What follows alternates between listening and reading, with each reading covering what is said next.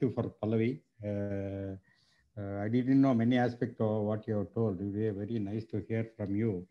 Right, let us start, uh, uh, take off uh, with the topic of the day, day because we have very um, time constraint. We don't want to waste more time.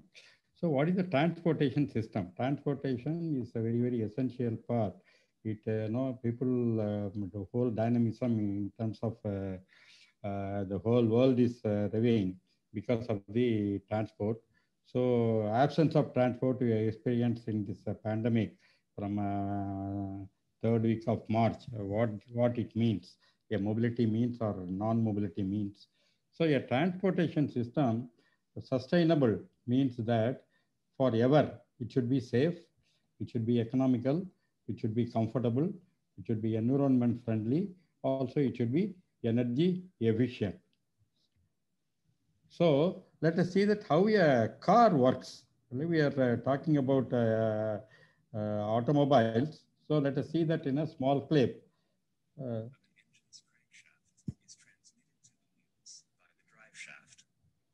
the gearbox changes the number of rotations of the driven wheels during one turn of the crankshaft. In low gear, the output of the engine is high, but the speed is low. In high gear, the car is faster and uses less fuel, but accelerates more slowly. The most common type of engine used in cars is the four-stroke Otto engine. It converts the alternating vertical motion of the pistons into the rotation of the crankshaft. The crankshaft drives the driveshaft and the camshaft through the timing belt. The camshaft operates the valves, which ensure fuel intake and the expulsion of exhaust gases through a coordinated rhythmic opening and closing. The first stroke is intake. The piston moves downwards, decreasing the pressure in the cylinder. The intake valve opens, and a mixture of air and fuel flows from the carburetor into the cylinder. The second stroke is compression. Both the intake and the exhaust valves are closed then. The momentum of the crankshaft and the counterweight causes the piston to move upwards, compressing the mixture of air and fuel, and thereby increasing its temperature. The third stroke is the power stroke. The spark plug ignites the compressed heated mixture of fuel and air. The explosion pushes the piston down, the fourth stroke is the exhaust stroke. The piston moves upwards, the exhaust valve opens, and the exhaust gases are expelled.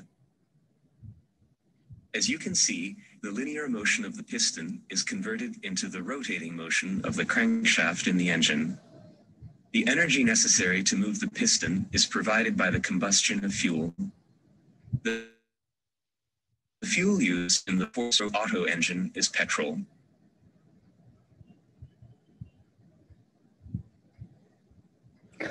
So as you see that it, uh, the petrol or uh, the fossil fuel is a uh, it's a chemical. Uh, it is a combination of hydrocarbons. What we say. So chemical energy is converted into heat energy. Heat energy is getting converted into mechanical energy for driving the vehicle. Right. If you take one liter of petrol, then what is the energy is content in some calorific value? Only 30% of the energy is getting into useful work.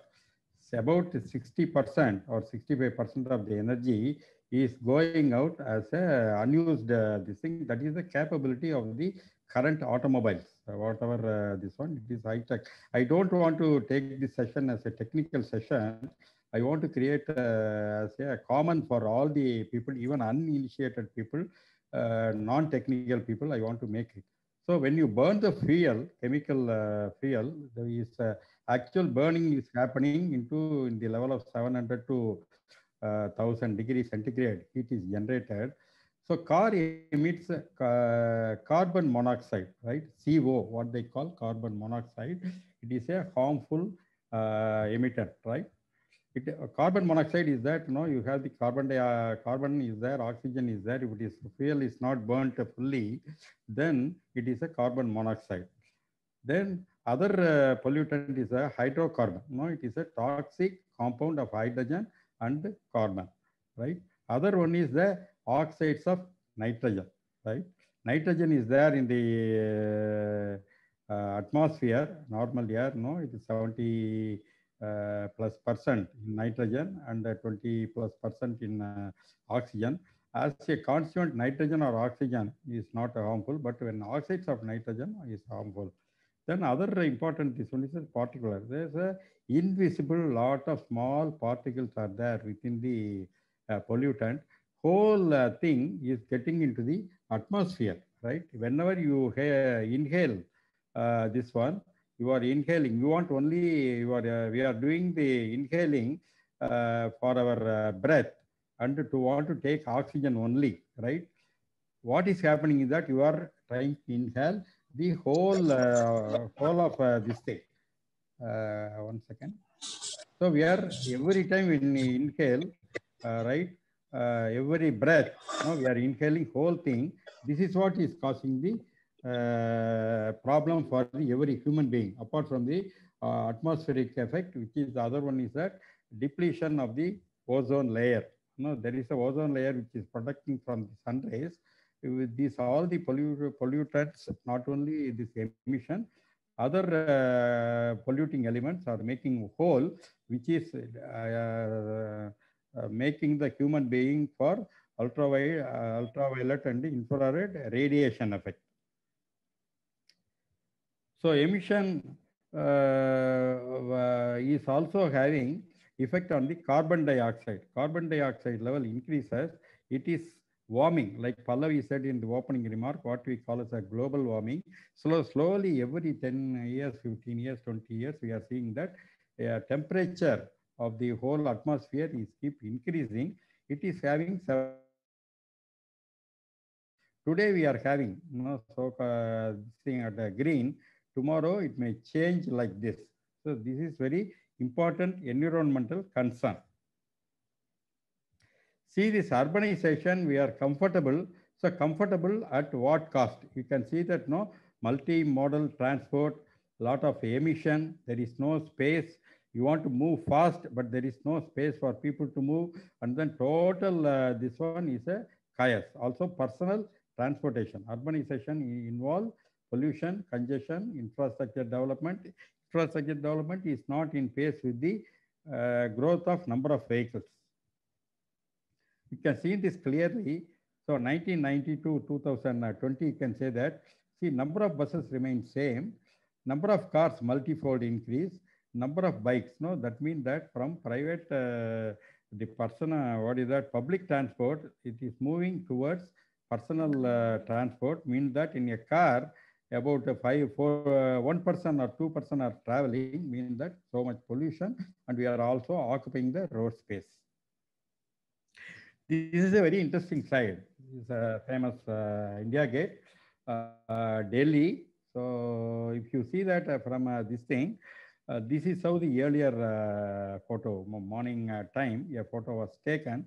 This is how the whole atmosphere is there. It, nothing is, is visible.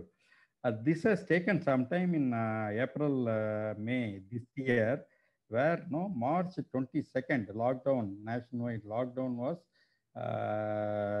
put in force. Subsequently, seen that what is the difference between two? It is very hazy, total atmosphere is polluted, no visibility, nothing, right? So that level is the impact which we are uh, surviving, which we are using it.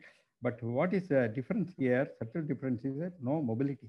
People, no vehicles were allowed, no vehicles were moving. So that is what has uh, made the whole thing to change. There is a graph which is made, no, it is a uh, particulate uh, level and pollution level it is a scientific uh, method of measurement. So it is tracked from January 1st to April.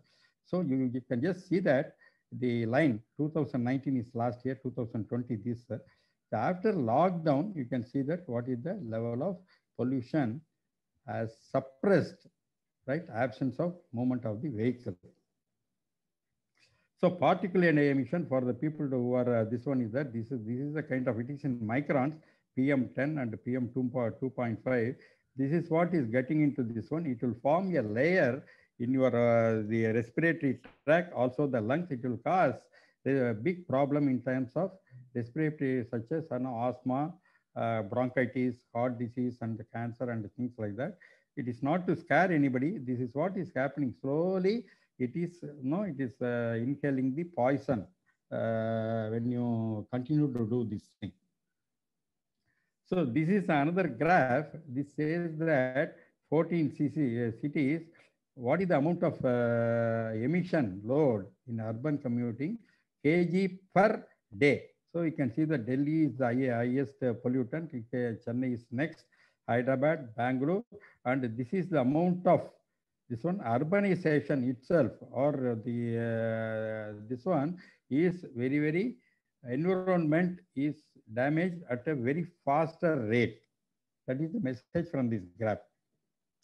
So you can see that the, we are using now from 70s onwards, government is uh, putting a lot of regulation in terms of the uh, fuel quality as well as the vehicle. No, you would have heard what is BS1, BS2, BS3, BS4, BS6 today at BS6 level. So a lot of pollutant level, about seven. If you buy a car in 1970 and then you take a car of today, that is about 80% of the pollution level has significantly reduced, right? Because vehicles have become more uh, cleaner, more better uh, this thing.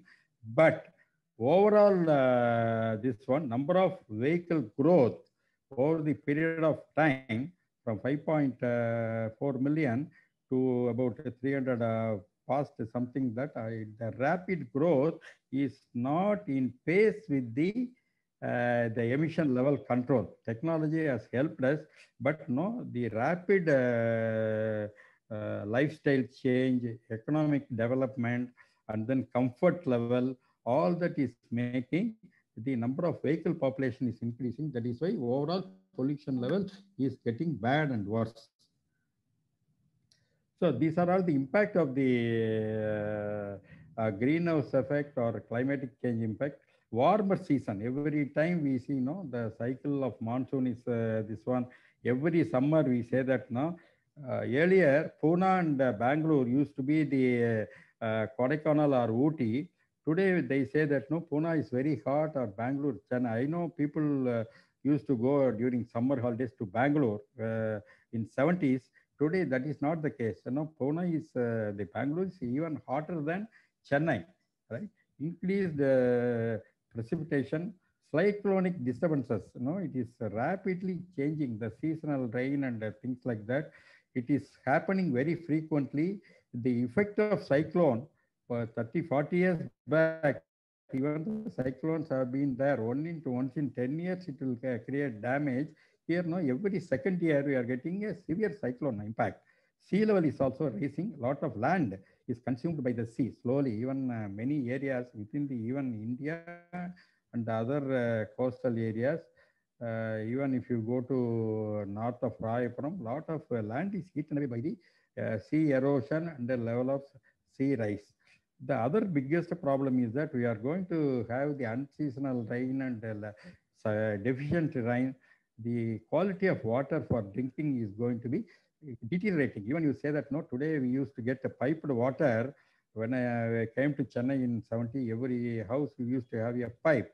Corporation uh, will pump the water. We used to have the piped water. Today, all that has become drain people want a water bubble and things like that. People are using the motor and uh, things like that. Pumped water, every house. See the amount of energy also. I just open the tap and then I get the water. Today, water, getting the water in the kitchen is a big struggle. And the amount of water are going to available is also depleting. So other biggest problem is that what is the availability of the fuel? This is one graph uh, International Energy Agency has said uh, this is uh, you know what are all the natural uh, resources we have. So we have the oil, what we call no crude, crude oil. from that now we are getting petrol, diesel, and other derived products like naphtha and other things. Then you have the gas, right? No, and compressed natural gas and things like that. Other, uh, this one is the coal, huge coal deposit. Coal is not directly used. Coal is gasified or coal as it is used in the many uh, industries. Uh, and also we have a lot of uh, this one on the uh, power generation. So one of the uh, input, energy input is the coal. So if you see that by one of the studies says that by 2051, the oil is going to get depleted the way we are using the vehicle, not only India, world over, the way we are using the uh, fuel and the cars, that uh, the fuel will get depleted by 2051. Gas may last another uh, maybe 10, 15 years. And uh, from now, about 60 years time, the whole coal is going to get depleted very, very this thing. So we have to see that one is that energy efficiency. Second one is the judicious way of using the energy. And uh, the third important is that we have to look for the alternative energy sources. That is very, very important, right? So uh, how the this one today is not a problem. Another 10 years, no problem. That that is not the case. So this is where we are going to give our uh, living space to our next generation. So பையன் அவங்க வந்து பேரன் பேத்திகளுக்கெல்லாம் நம்ம வந்து நல்ல ஒரு வசதியான வாழ்க்கையை கொடுக்கணும் அப்படின்னா வந்து this is a biggest concern we have to be very conscious of we have to give a better world Sir, just one So- second. Uh, Yeah, Jay please. Kumar, I don't know if he has a question. Uh, hello. Yeah sir. Please please yes, Mr. Jackmar. Uh, maybe by mistake, sir. You can go ahead. Okay. To summarize, no uh, reason for we have to look for a clean, cleaner mobility. There are a lot of uh, uh, pollutant. Even if you don't drive the vehicle in within the house you are sitting, then you we are causing a lot of damage uh, for the energy. The many industries are polluting. Uh, many other, uh, no, when you use a fridge, we are uh, polluting. So all the unfriendly uh, materials, what you use, lot of pollution, pollution, lot of sources are there. One of the constituent is the transportation sector. That is what we are trying to address today. Today's uh, discussion is not the total energy balance. What is the way to make a better uh, mobility? How we are going to go for a cleaner and green mobility? That is the topic for the discussion today. So what is happening is that air quality, air quality, this is applicable. Some of the, even if you take a comparable uh, uh, figures at US where it is, uh, seems to be very advanced, population is very, very significantly lower than uh, India, but their economic status, they are grown, but the all these uh, parameters, they are worst. Uh, China and uh, the US are the highest uh, polluting uh, uh, countries in the world. No, America, maybe China, maybe a population-wise India and closer, but no, the US has been the highest polluting due to various reasons, right? Air quality is depleting. It is not healthy. Automobile-related pollution has been one of the cause for this.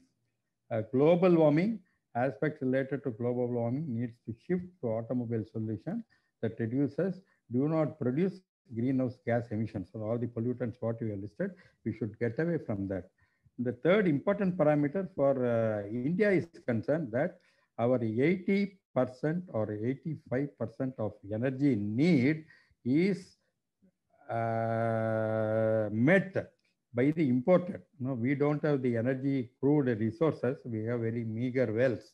Uh, Whatever the wells, no ONGC and the other initiative has not sufficient to meet the energy need.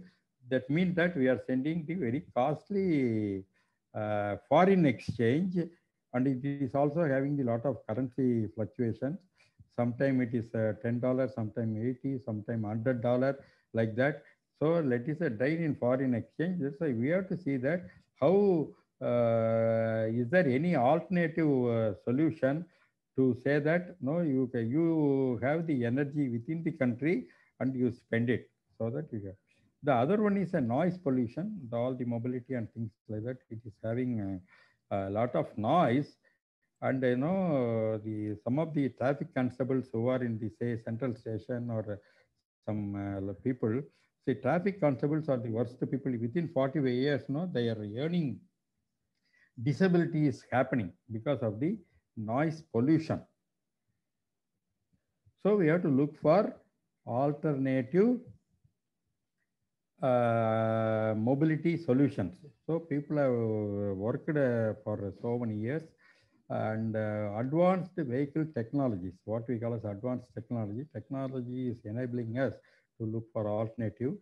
To, it is mainly towards to reduce the exhaust emission, number one. Second one, increase the fuel efficiency. If you increase the fuel efficiency, instead of burning 10 liter of fuel, you are burning say 8 liter or 7 liter of fuel. That means that you are less polluting. So that is the crux of this thing. So one of the alternative is electric vehicle. That is the topic of the discussion today. There are other alternative things are getting focused. Biofuel. So biofuel cannot be used as uh, this thing.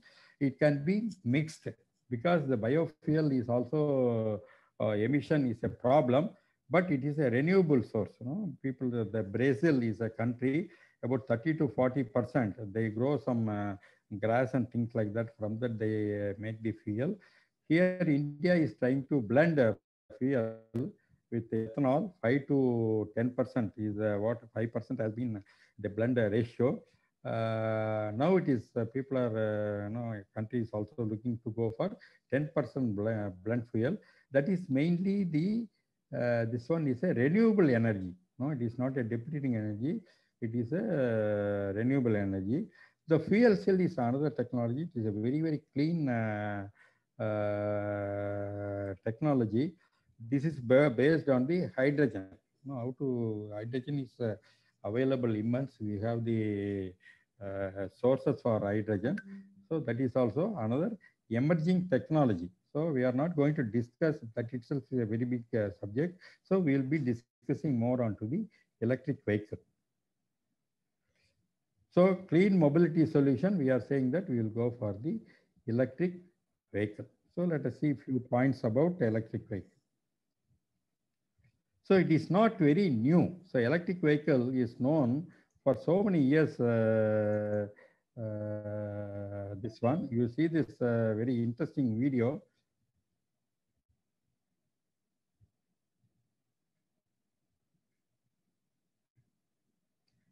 Uh, sorry, it takes time.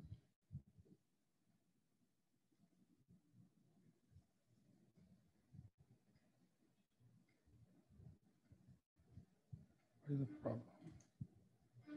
An electric car actually ends up being getting more range for, for a given amount of, say, coal or oil that's burned than a gasoline car gets. As concern for the environment rises, we are seeing increasing demand for electric vehicles. Though EVs today are presented as new innovations, the fact is that such cars go back around a century. While there's a dispute at what point in history EVs were born. We can take 1828 as our starting point. That's the year in which Anyos Istvan Jedlik made the first electric car. Back then, it was in the form of a model. Perhaps that is why many histories skip that contribution. Rather, they take 1834 or 1835 as the year in which electric cars were born and give credit to an American, Thomas Davenport. It was then that Davenport built a small locomotive that was powered by two electromagnets and ran on a track. A few other inventors dabbled with electric cars during that decade, and the peak of the electric car is considered to be about 1900. At that time, electric cars made up about a third of all cars manufactured in the United States. However, by the 1920s, electric cars would stop being commercially viable as gas power became a lot more accessible and people wanted vehicles that could go longer distances and had more horsepower. Henry Ford dominated the car industry beginning in 1908 with his mass production of gas powered cars. For over 60 years, these cars continued to advance, While gas was plentiful and inexpensive, people were content with their internal combustion engines. But by the late 1960s, there was a change. Gas prices started to climb steeply, and there was the beginning of concern over air pollution. Congress introduced the first bills promoting EVs in 1966.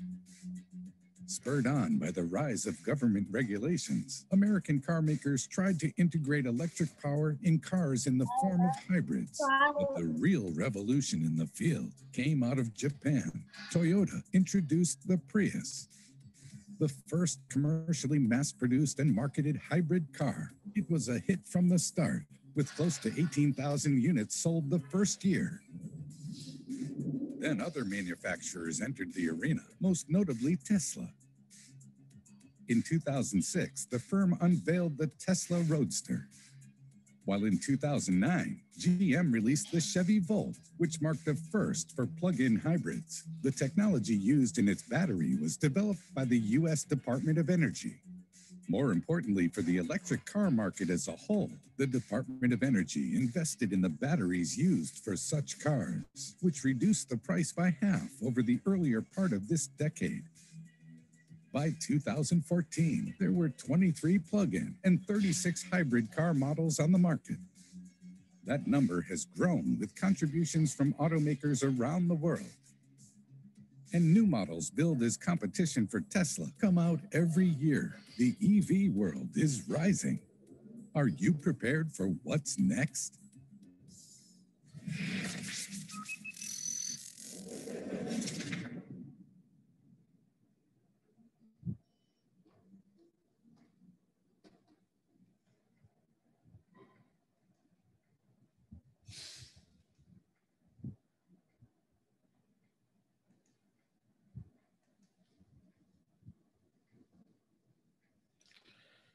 So, if you take Indian uh, scenario, so transport sector accounts for 18% of the total energy consumption.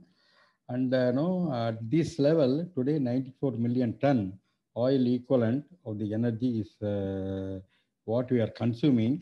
In another 10 years, this is going to more than double, right?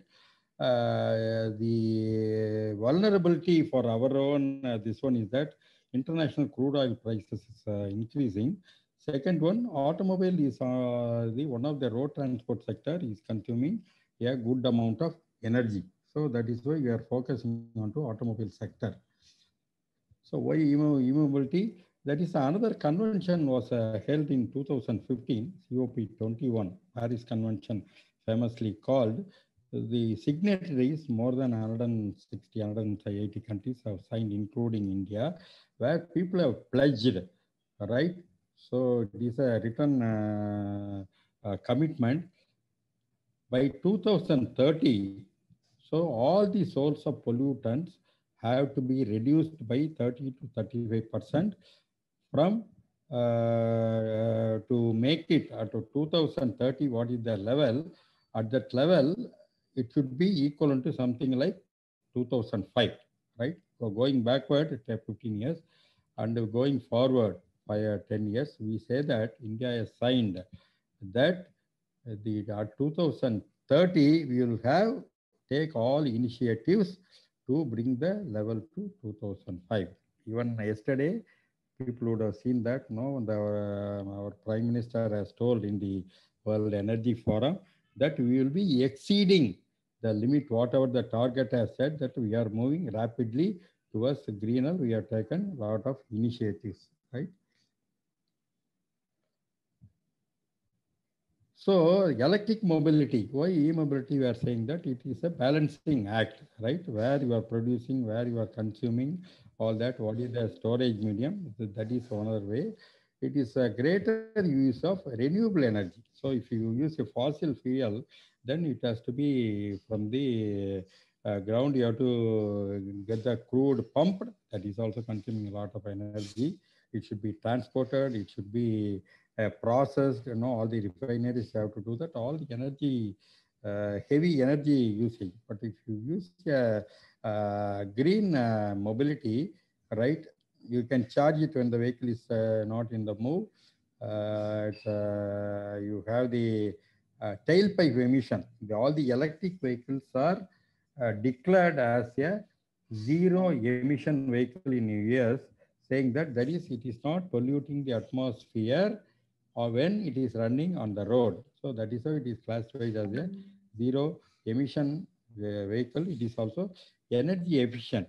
The as I told you, when you run a petrol or diesel uh, driven vehicle, so the energy amount of energy we uh, efficiency we get is about 35%.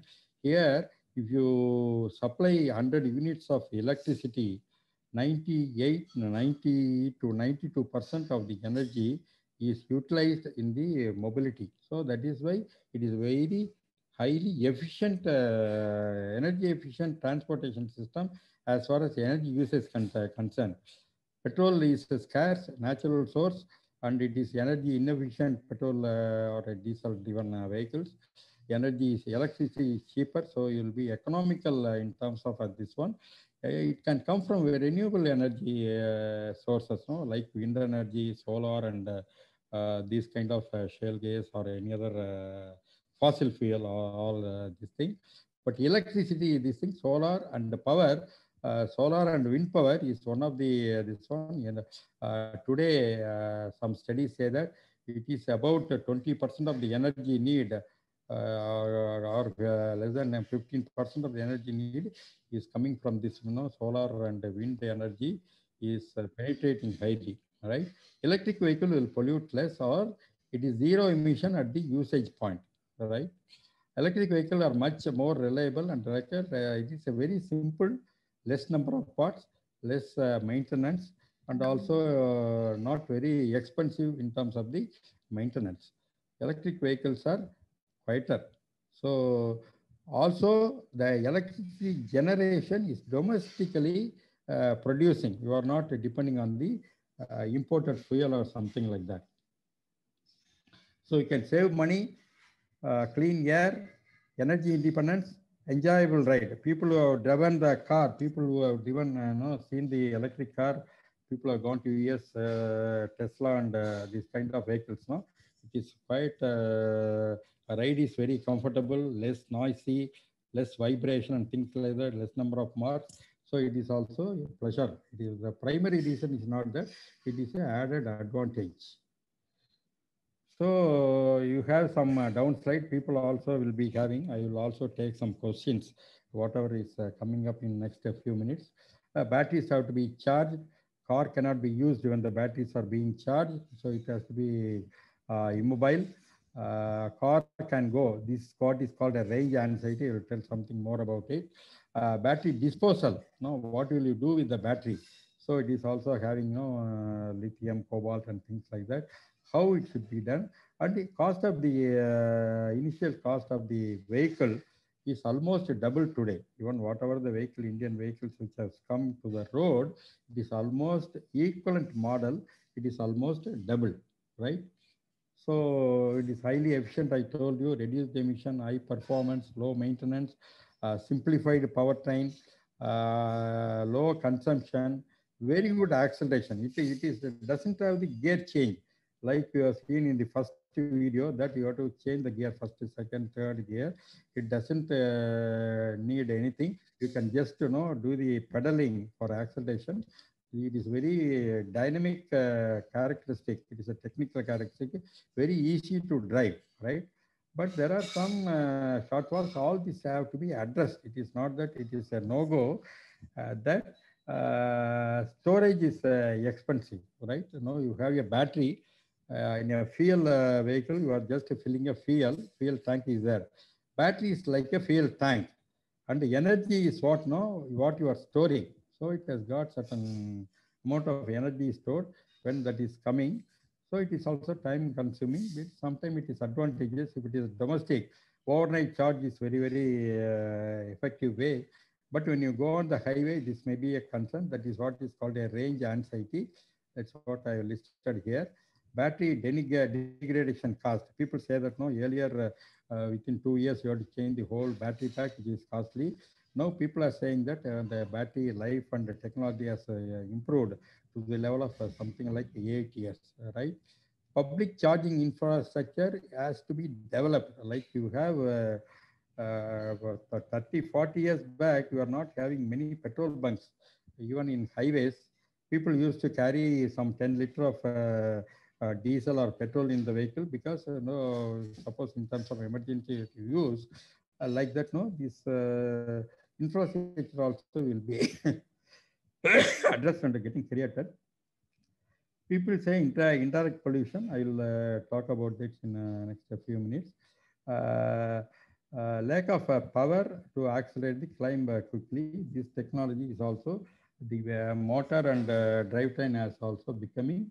All these have been within the use of technology and better uh, awareness, better economy. All these uh, things are getting uh, addressed. So it is it is a work in progress. It is not absolute disadvantage to stop the thing to. Uh, it is not a no-go situation.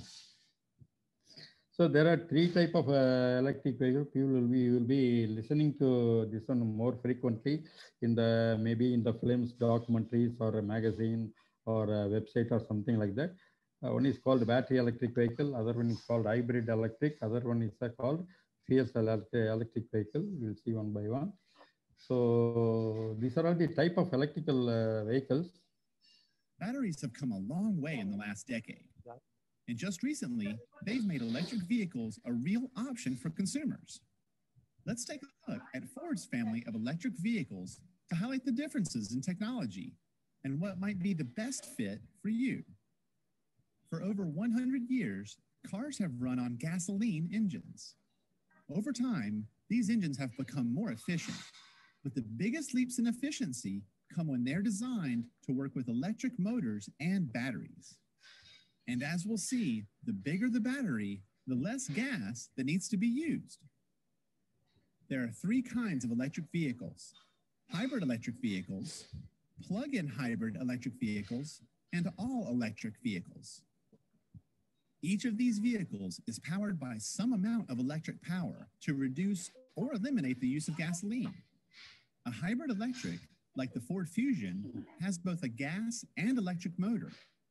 It captures energy used when the vehicle brakes to charge the smaller battery that helps the larger gas motor run more efficiently and even get 41 miles per gallon in the city. This gives you the option to drive on long road trips with great fuel efficiency. The second option is the plug in hybrid electric, like the Ford C Max Energi available in 2012. This vehicle works much like the hybrid electric that can recharge while you drive, but it can go a lot longer on electricity because it has a bigger electric motor and battery.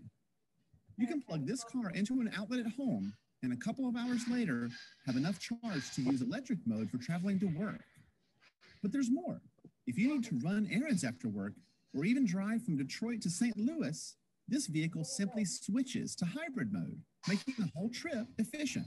The third option is an all electric vehicle, like the Transit Connect Electric, available now, or the Focus Electric, launching in late 2011.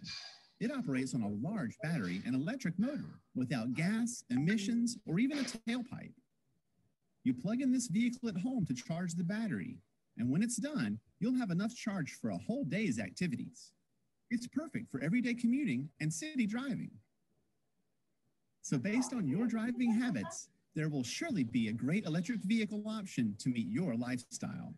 Whether it's zipping around town on pure electricity or being able to drive efficiently wherever you want to go, Ford is fully charged with a family of electric vehicles. Batteries So hybrid electric vehicle, you will have a engine, you know, petrol or diesel engine, whatever may be, or gas engine, and uh, it will be a smaller engine. The advantage is that now you will uh, have smaller engine, less fuel, and then you have electric motor, and it is also having a smaller battery, but it is also having a pollu pollution. It is, you cannot say that it is pollution free. It is still uh, uh, polluting. Uh, with the uh, what we call internal combustion engines, right? So this is how the system will be that. So you will have all the parts required for the combustion engine and all the parts required for the engine. It is called, that is why it is called a hybrid electric vehicle. the famous vehicle, what is uh, Toyota Prius, is one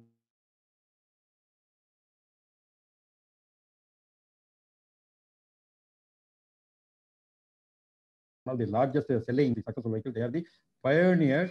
Now they are also working for the other uh, mode of hybrid uh, fuel cell vehicle as well as the pure electric vehicle. So it is also the all the electric vehicles have a regenerative. Whenever you brake, the heat energy is waste in a normal vehicle.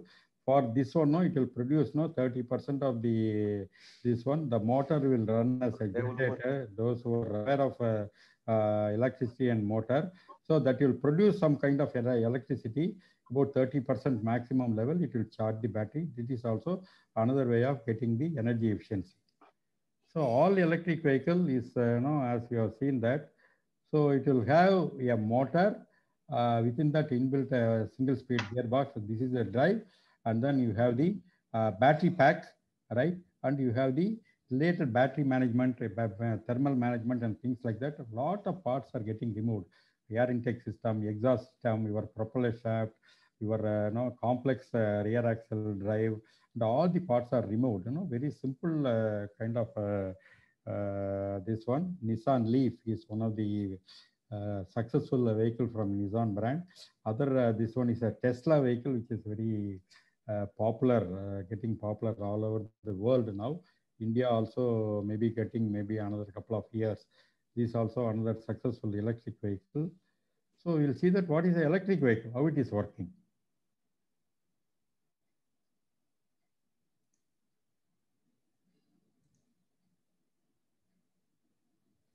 Traction motor. Using power from the traction battery pack, this motor drives the vehicle's wheels. Some vehicles use motor generators that perform both the drive and regeneration functions. Onboard charger takes the incoming AC electricity supplied via the charge port and converts it to DC power for charging the traction battery. It monitors battery characteristics such as voltage, current, temperature, and state of charge while charging the pack. Power electronics controller. This unit manages the flow of electrical energy delivered by the traction battery, controlling the speed of the electric traction motor and the torque it produces. Thermal system, cooling.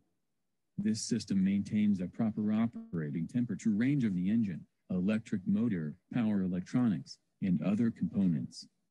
Traction battery pack stores electricity for use by the electric traction motor. Transmission, electric. The transmission transfers mechanical power from the electric traction motor to drive the wheels. Today's EVs generally have a shorter range for charge than comparable conventional vehicles have for tank of gas. The efficiency and driving range of EVs vary substantially based on driving conditions. Extreme outside temperatures tend to reduce range because more energy must be used to heat or cool the cabin. High driving speeds reduce range because of the energy required to overcome increased drag.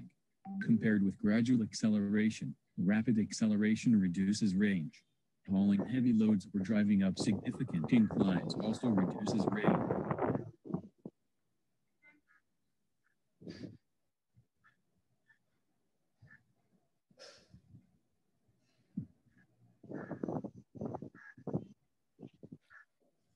What is the range? Now, if you take a charge in a particular place, and then what is the distance you can cover uh, within that? No, like a petrol, you say that 30 uh, liter of fuel, then I can say that 15 uh, kilometer average, 450 kilometers, I can do that. Similar way, this is called a range of the electric vehicle from charge to charge. So whatever is declared, lot of international standards are there. So based on the test uh, condition, they will publish that what is the range. Now it is keep on increasing. Vehicles have uh, gone up to the range of 450 to 500. One of the uh, Hyundai uh, model is uh, saying that it is about 450 kilometers.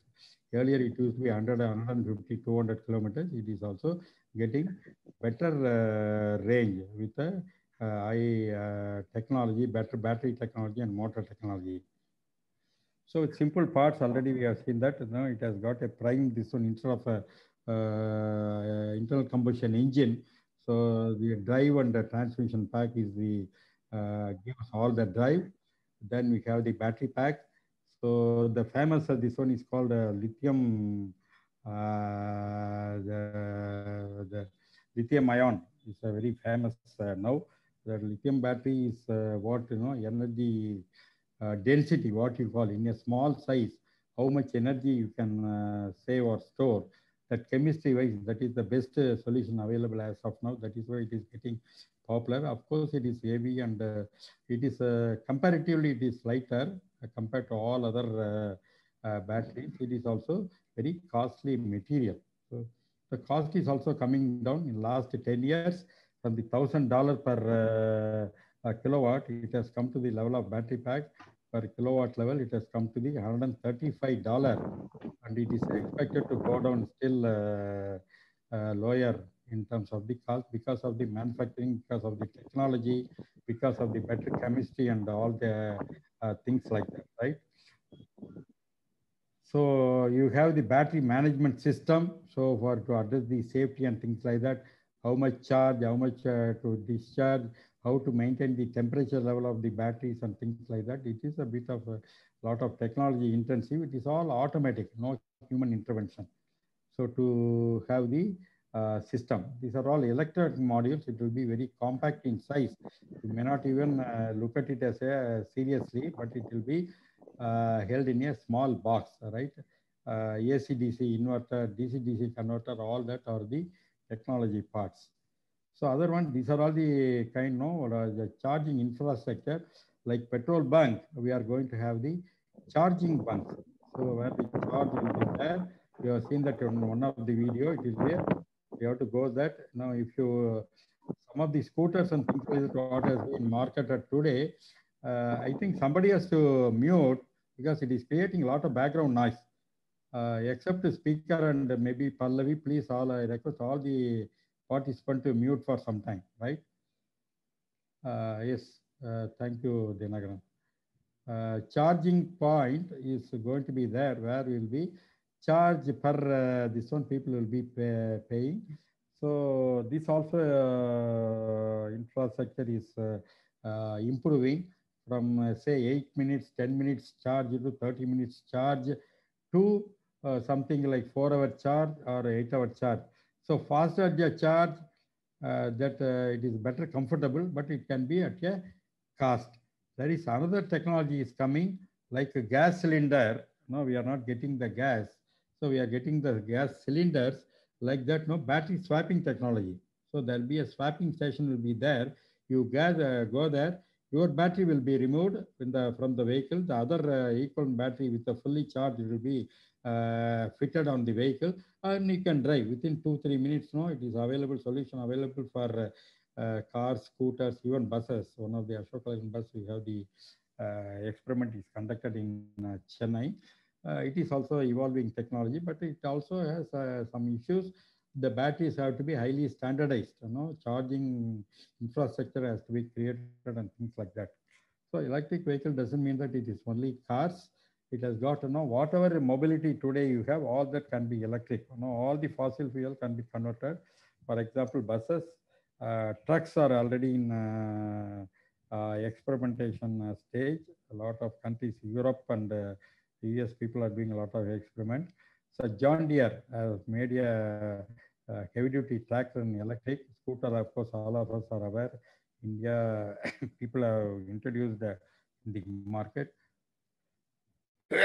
also heavy duty earth moving equipment like you know Caterpillar and uh, these kind of electric uh, vehicles are there. Electric ships are there. Electric boats are there.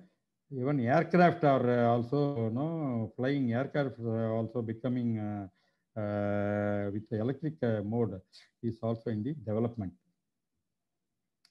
So if you see that no, India is also in last five years, lot of development has happened within India in terms of development of the vehicle and uh, technology. Tata Motors, you know, they have the two Nexon Tigor uh, cars, which is getting good traction. Uh, bus is also running in many cities. Ashok Leyland electric bus is running in some Ahmedabad, Chennai, and they are also working on uh, battery swapping technology with Sun Mobility is another company, specialized company. BYD is a Chinese company. They have a plant in Hyderabad. So they are running about six, uh, about six, uh, 600 odd buses in many parts of the country. Cars, Mahindra, Maruti, Honda, Toyota in the experiment stage, Hyundai, Kia, MG, all that have released cars uh, or in the terms of development, Maruti in uh, development. Two-wheeler, TVS, Bajaj, Kinetic, Hero Electric, Kinetic, uh, Ather is a startup. It's a successful startup plant in Hosur. They have released a commercial vehicle, including the charging infrastructure. They are installing in many places. Greaves have also Ampere uh, two-wheeler and uh, three-wheelers. So uh, three-wheelers also there. Where is a big uh, uh, this one revolution is happening in terms of the three-wheeler, in terms of three-wheeler auto or e-rickshaw. More than 15 lakh vehicles. I understand that it is already playing. I have seen vehicles operating in uh, Uttar Pradesh, uh, Eastern India, where I traveled uh, sometime in last December to Calcutta, interior uh, West Bengal villages. Lot of e-rickshaws are there. Normal uh, auto is not seen there. Very quiet, very cost-effective, very silent vehicle. So these are all some of the Siliguri, you know, northeast. Uh, you have the e-rickshaw.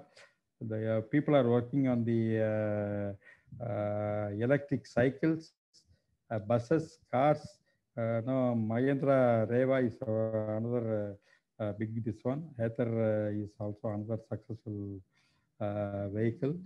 Electric bikes, bikes are on the anvil. So in my view, the electrification will happen in this order. Uh, maybe three-wheeler, uh, e-rickshaws, scooters, then followed by uh, uh, uh e-cycle. Maybe uh, people are looking for the personalized transport. Then maybe cars and smaller light trucks.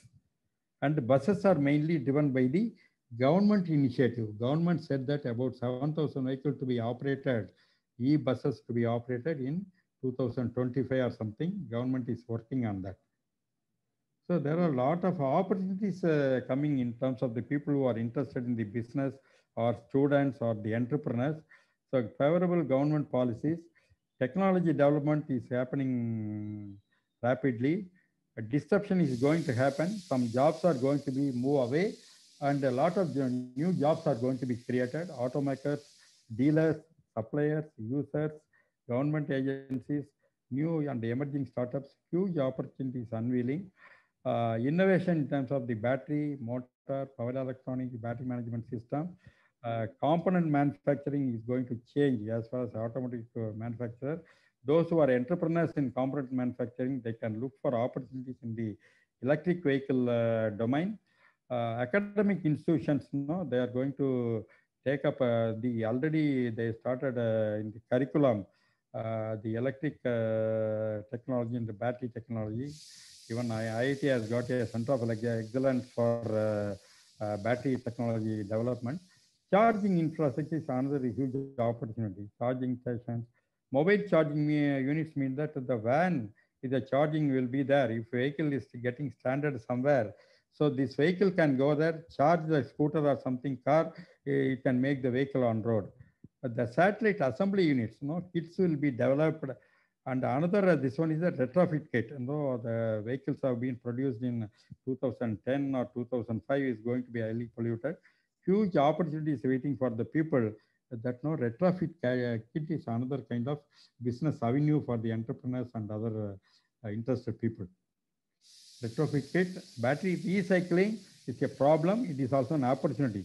So you can create a lot of battery recycling units, collection units, segregation units, and then recycling units, and uh, secondary use. Uh, you know, electric vehicle, 70% of the life will be still there. It can be used for, not for mobility. You can use it for the alternative usage in the stationary units and things like that. Uh, simulation based, you know, these are all for the technology oriented, a lot of opportunities in big data analytics. Uh, the electronic integration is happening in the electrical uh, vehicle itself so that all the modern tools, machine languages, deep learning, artificial intelligence tools, lots of uh, this one for the emerging uh, new gen uh, engineers, a very good opportunity. Startup can come with innovative solutions. Solar energy adoption, even the the parking areas and things like that uh, can be converted as a solar panel. The vehicle can be charged. EV service uh, stations. This is another uh, this thing conventional uh, uh, vehicle uh, uh, mechanic shed.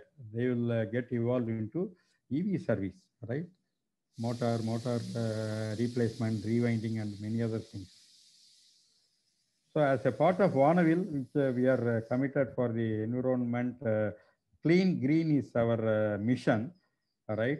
In all the ways where energy should not be wasted, no efficient way of this thing. So this is the least environment friendly. This is high environment friendly. We are not suggesting uh, uh, dispense with all the vehicles. The topic is that how to make this green if you see that reverse pyramid, what they call, so uh, wherever uh, uh, no, you start driving less.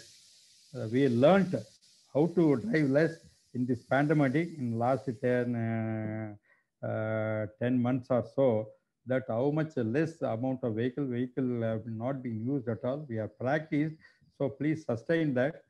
And if you have to go out uh, for uh, out of the house, combine trips for the efficiency, right? Don't uh, every time or uh, grocery shop, uh, then go to something for uh, bread or something, uh, go to hospital or uh, buying some medicine or something like that. You can combine all the trips, you know, make one trip, uh, finish all your work within an hour. You will save time, cost, money, and effort. So also the uh, uh, efficiency will be there in terms of the energy efficiency. So you can walk, you can bike, you can make carpooling in the apartments and things like that. You can try carpooling and or use the public transport to the extent possible, whenever, wherever possible. So, so, so that let us in uh, not even bu- bu- buying an electric vehicle, which is uh, be today and tomorrow, even other ways uh, we can make the environment friendly. So I can take up questions.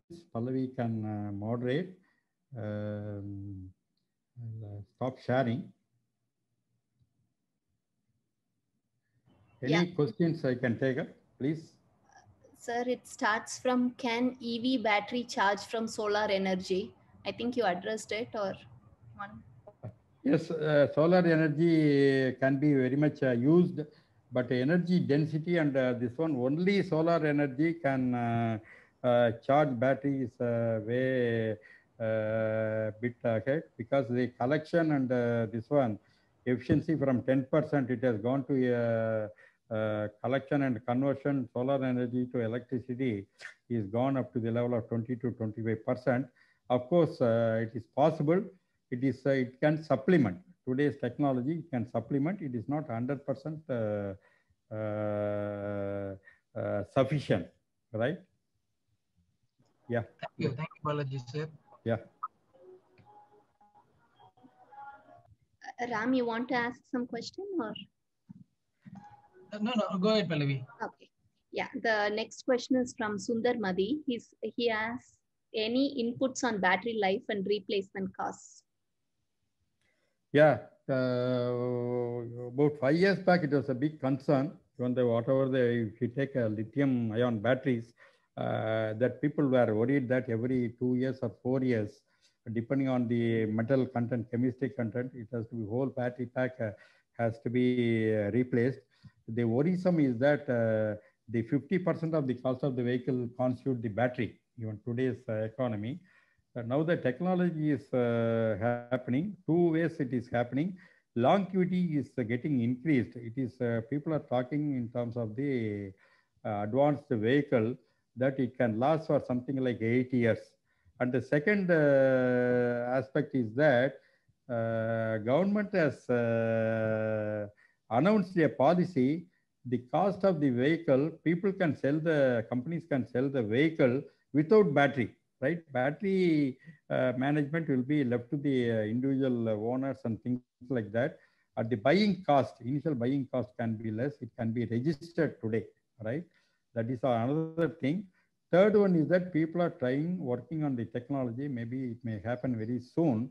That life of the vehicle. So whatever the, even today cars, first owner is not using for more than four years or something like that. It changes hand. The important other dimension for electric vehicle is that secondary market, reused car market or reused bike market is evolving. That is also another concern that used to be there for any vehicle. So it will happen the, over the period. Uh, today, nobody is buying the uh, used vehicle today. There is no market. So that is why you know, and other companies are also this thing that they are given the buyback of the vehicle. You know, the, that is also uh, gaining the very good momentum. Sir, next question is from Ram. What different? What's the difference between ECVT and CVT? Yeah, the uh, CVT is uh, called uh, whoever aware that our regular transmission is the normal gearbox is that step by step you have to change the gear, first gear, second gear, third gear, and things like that. Please unmute. No, there is a lot of disturbance. I'll answer the question. Uh, regular gearbox. Automatic is that shift is uh, happening automatic. CVT is called uh, continuously variable transmission. There will be two cones. There will be one cone like this. There will be other cone. This cone will be moving like this, depending on the requirement. So this is how the gear ratio is evolved, right? You assume this as a cone. You assume this as a cone. That you know, this cone is moving. So driver and driven ratio is continuously changing. So that is the technology for uh, CVT. Now it has become intelligent based on the electric uh, motor and then driving torque and things like that. The, uh, the control mechanism is becoming intelligent so that no, it, the motor is revving fast. The same way the CVT has been developed by Nissan technology for the conventional vehicle. Now the adaptation is uh, going for the e-vehicle. So with the adaptation with the e-vehicle, uh, the uh, CVT has become more intelligent, right? I think Ram, I answered your question. Yes, thank you, Balan sir. Um, so the next question is from Saravanan. Uh, he's saying is the the um, uh, like a, a, smaller vehicles or uh, uh, have the capacity is it possible for truck uh, transport? Yes uh, absolutely possible. That is what one of the slide i said that whatever all the mobility even paucity of the time i have not shown the trucks and things like that. I got a detailed video on the how the truck uh, this one is there. There are uh, us uh, two three companies have come up only specializing on the uh, truck mobility right? And india also the all the companies are uh, working on the e trucks but a smaller uh, capacity unless a charging infrastructure is developed to the level commercial vehicle will no larger vehicle it will take some time but it is possible. No that is the progression next level in the truck means that already smaller three wheeler uh, it has become e, e vehicle already the commercial vehicle uh, even uh, chennai corporation started using e three wheeler commercial vehicle for the their own garbage collection and things like that. Next level maybe one ton two ton three ton vehicles will be will be seeing on the road. Okay again yeah, yeah. question from Saravanan, uh, why still not implementation of CNG operating vehicles in Tamil Nadu? Other few um, states are government operating, uh, uh other few states government are operating vehicle in uh, CNG only. So CNG is uh, mainly because of uh, the Ashok Leyland is the company which I worked. I am very proud to say that I worked for Ashok Leyland. Is the largest number of buses all over the world is uh, the Ashok Leyland buses. They are the pioneer of the CNG buses. So CNG, you need uh, the gas source, uh, gas issue, availability of the gas and uh, storage and transportation. So that is the biggest challenge. Ashok Leyland also running some buses in Cholan Transport in the Nagapattinam district. So transportation, and uh, we have to ship the gas from outside. Uh, from the port, you have to transport to the user stations. Like you know, petrol. Uh, this one there is a gas tankers are available. Delhi has been successful. Uh, Gujarat has been successful because their ports are very near. Transportation, the gas transportation infrastructure has been fully developed uh, they started a company to cater uh, Delhi transport, Indraprastha Gas, right? Uh, that is why it has become second. this one is that the popularity in terms of the Supreme Court order. Diesel buses banned in somewhere late 80s. That is how penetration is happening. So mainly the availability of the gas at the user point. So you can see that some of the LPG, this one is that even in our Porur, we have a LPG station for a smaller vehicle. Uh, LPG gas stations are available for the automobile use. Yeah. Next, question. Uh, it's not a question. Uh, Chakravarti says we are depending on only one country for lithium, which is a challenge today. We need more resource from other countries. Yeah, worldwide it's not a one country uh, it is what he means is that uh, I think you said Chakravarti, no? Yes. Who are the, uh, yeah. Uh, Chakravarti, the dependence is uh, the mines. There are two aspects. Mines are concentrated in few countries, right? Uh, lithium, and you need cobalt, you need nickel, because popular, uh, this one, the, the energy content wise, it is popularly known as lithium so these uh, metals are available in uh, uh, this one. Like it is like a diamond. Diamond is not all, all over, it is used, but it is available in only a few countries. Same way, gold. India is the largest gold consumer uh, in the world, but we don't have iota of uh, gold, right? Uh, small, even Kolar is not producing any gold like that. But you know, the only is lithium availability it is uh, exploring and people are uh, mining it. Uh, second one is the battery manufacturing technology that is concentrated. You know, very few countries are having the mass production technology of the lithium or this kind of EV batteries. China is a pioneer and uh, even Tesla is getting uh, this one from China. Now only they're building a big, big factory. Uh, Koreans are another country. They are pioneer in terms of the battery technology, like uh, National Panasonic, LG, and uh, these companies are pioneer in the battery technology. Right? It will be uh, today if you produce uh, enough uh, battery in India, India can produce. Right? You also need a market, the economic point of view. So this way battery packs are made today. Uh, to uh, next, uh, this one is that battery cell manufacturing. this one, a government has set something like 25 gigawatt or something. mega battery manufacturing plants are going to come up in India. Like that, every country is also taking initiative. India biggest advantage is that there is a big carbon resources available. Whole uh, Himalayan region unexploited, uh, I can use the word exploited, uh, the graphite. Graphite is one of the uh, important material that is available in India. India is also will become very economic, the cost effective manufacturer of the battery source for the, not only for the India, for the world also.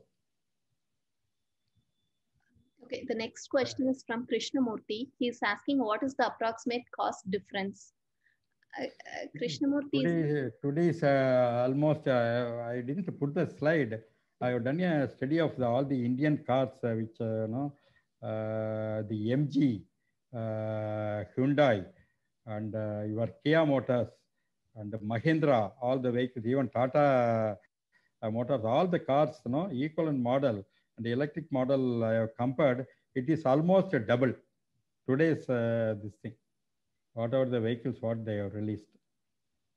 Even uh, scooters, electric scooters also, it is about maybe 80% or so. My uh, study says that it is about 80% more uh, than the conventional vehicle.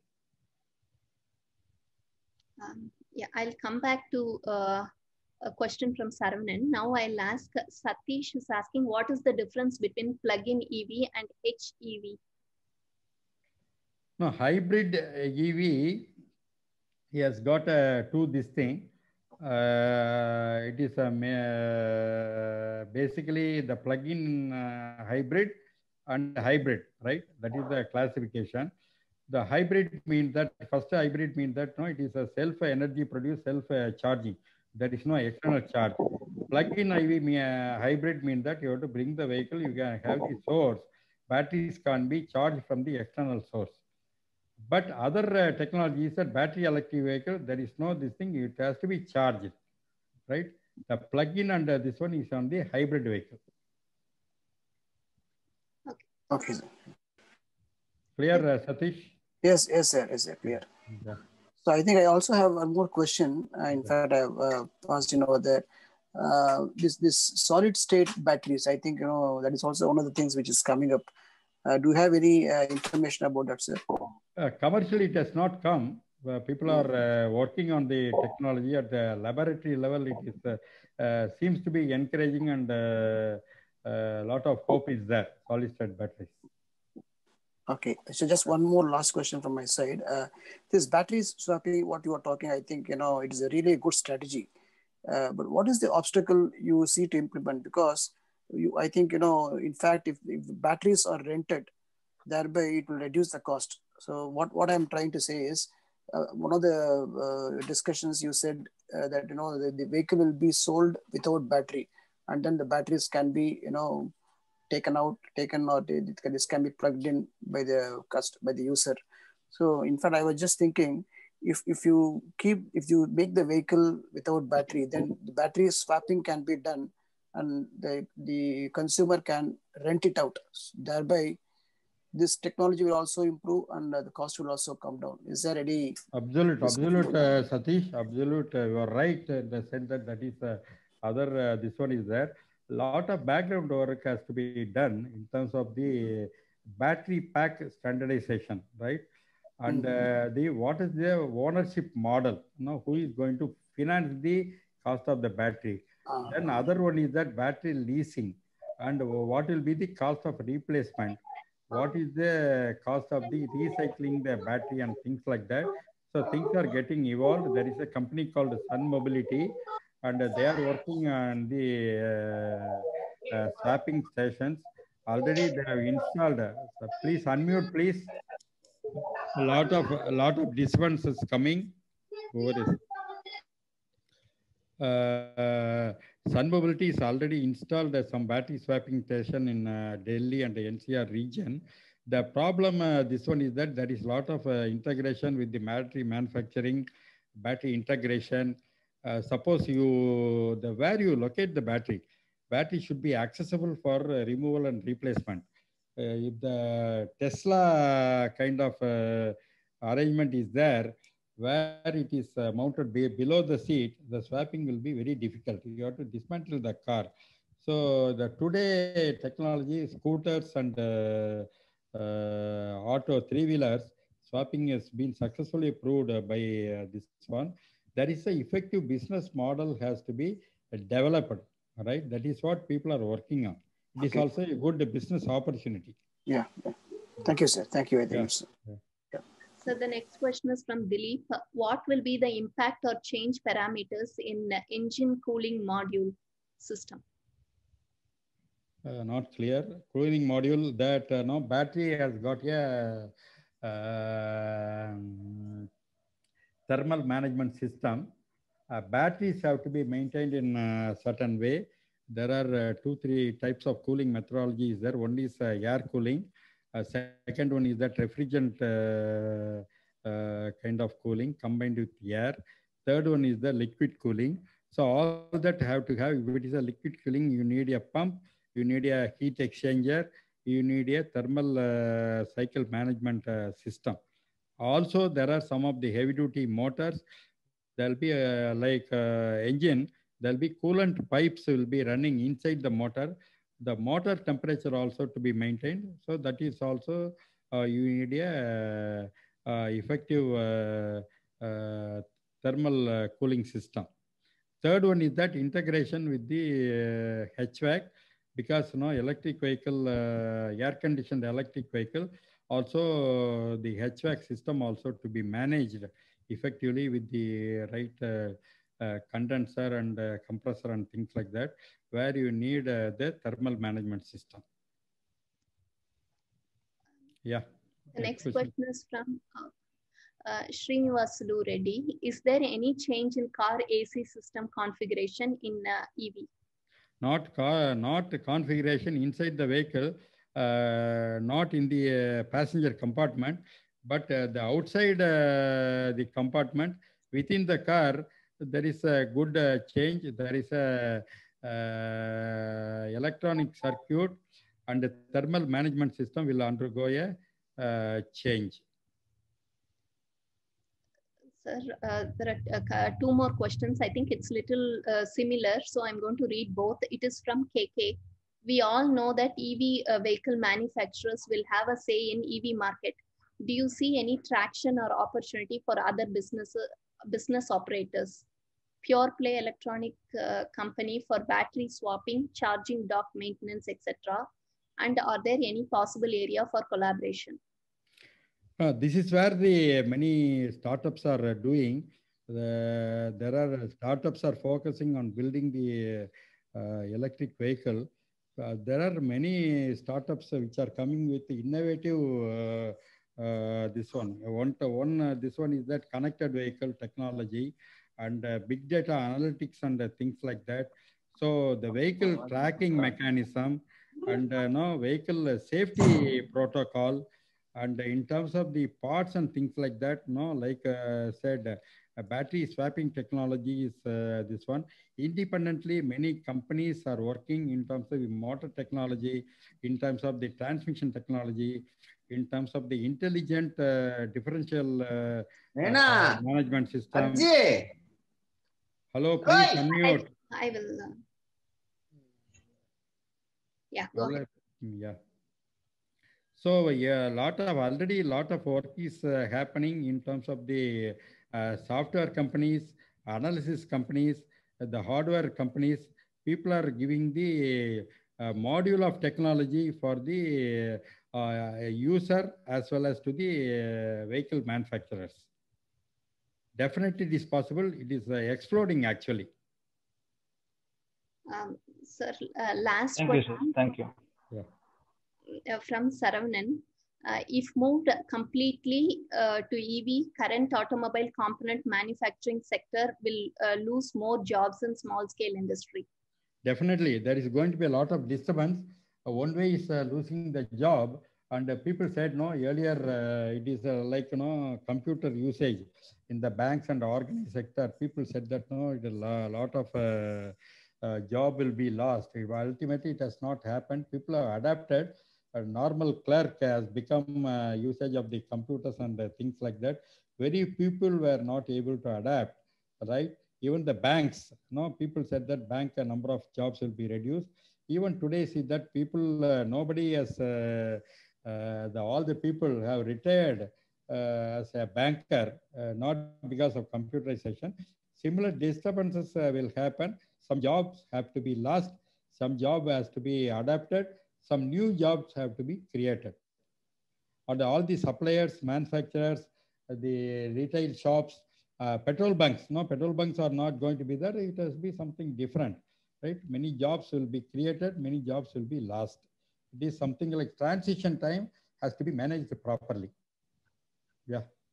Um, I think uh, this is all it's typed in here. If uh, any other questions, you can directly ask him now.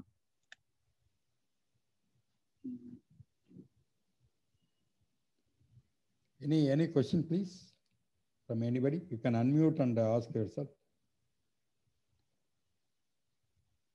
So only, yeah, yeah this Satish here. So yeah. just, just only thing I know is not uh, related to uh, specific to EV, but since you have talked, you have spoken about the environmental and then carbon footprint reduction. Uh, if you look at it uh, on a holistic view, if you look at it, the uh, making batteries. So I'm talking about the environmental point of view. one is yes, you're going to reduce uh, the, the, fossil fuels uh, elimination. Definitely will reduce the environment, no doubt about it. But uh, the carbon footprint further uh, depleting the carbon footprint is, is is where we need to understand how the batteries are manufactured and what is the uh, carbon footprint emission by manufacturing the batteries. So that is also one way. You know, I think the the the, the industry should look into it and see how we can reduce the pollution. Yeah, correct. Absolutely. So one is the source of uh, battery manufacture is the raw material, raw material to be mined.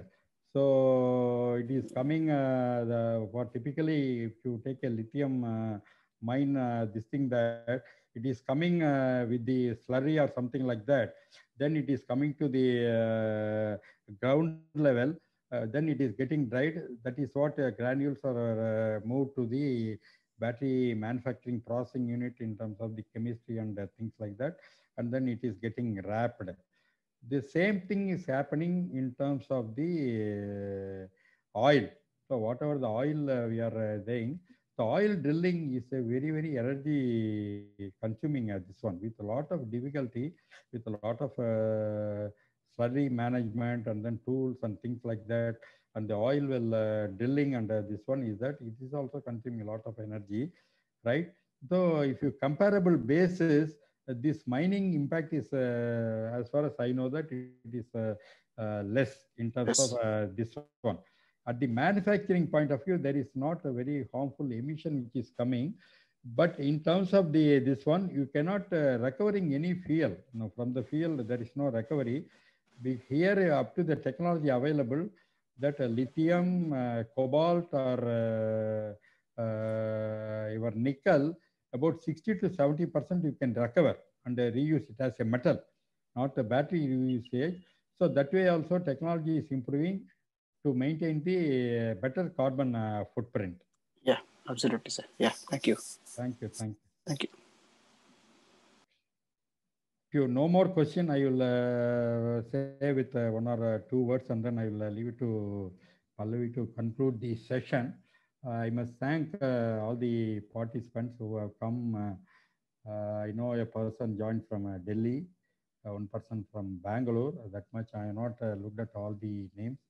Uh, people from uh, all walks of life, uh, from the automobile industry, from IT industry, from the component manufacturing industry, and other friends and people connected with uh, and this some of the people even not not only people still they joined.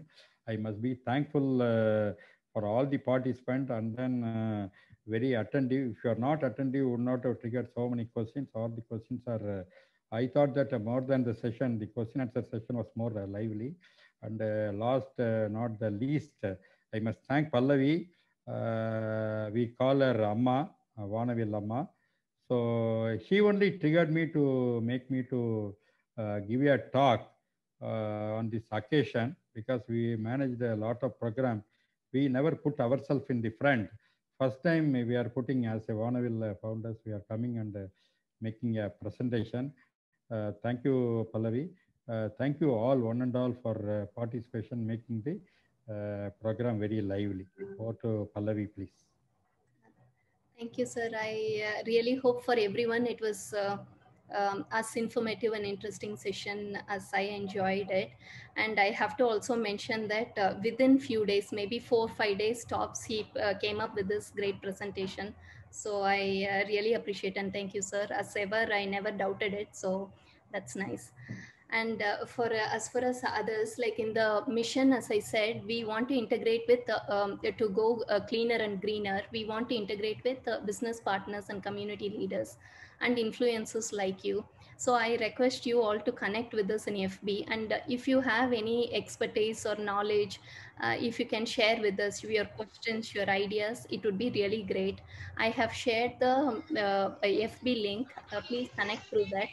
And uh, we can have uh, any sessions, or if you think of something, uh, please connect with us. We really look forward to work with you for um, cleaner tomorrow. So thank you. Officially, we can end the session. And if someone wants to um, um, know more about Vaanavil or talk to Balaji sir, you can stay back. Um, this is all from us. Thank you.